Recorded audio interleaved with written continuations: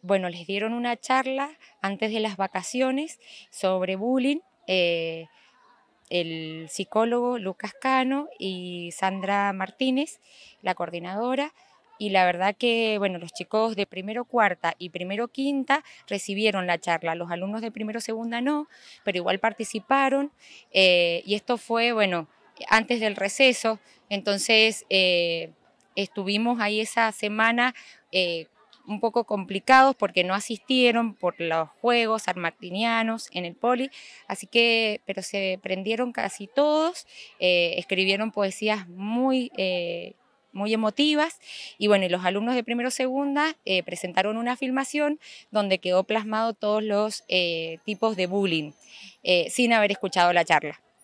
Como profesional de la educación, ¿qué sientes con respecto a este trabajo que se está realizando desde el municipio, desde el área de niñez, adolescencia y familia? La verdad que muy valioso porque eh, los chicos eh, aprendieron a, conocerse, a sacar eh, sus sentimientos, a manifestar sus sentimientos en las poesías y también con la obra de teatro, que bueno, que ellos vayan eh, reconociendo, identificando que son valiosos por lo que son, no por lo que, por el cuerpo, por lo que tienen, eh, y que son únicos. Entonces, eso se los vamos a transmitir al resto de los estudiantes de la Escuela Sarmiento. En cuanto al contexto social del país en general, eh, ¿qué se vive en las clases? ¿Qué pasan dentro de las aulas? ¿Qué llevan los chicos de todas estas problemáticas que ocurren fuera de lo que es la parte educativa?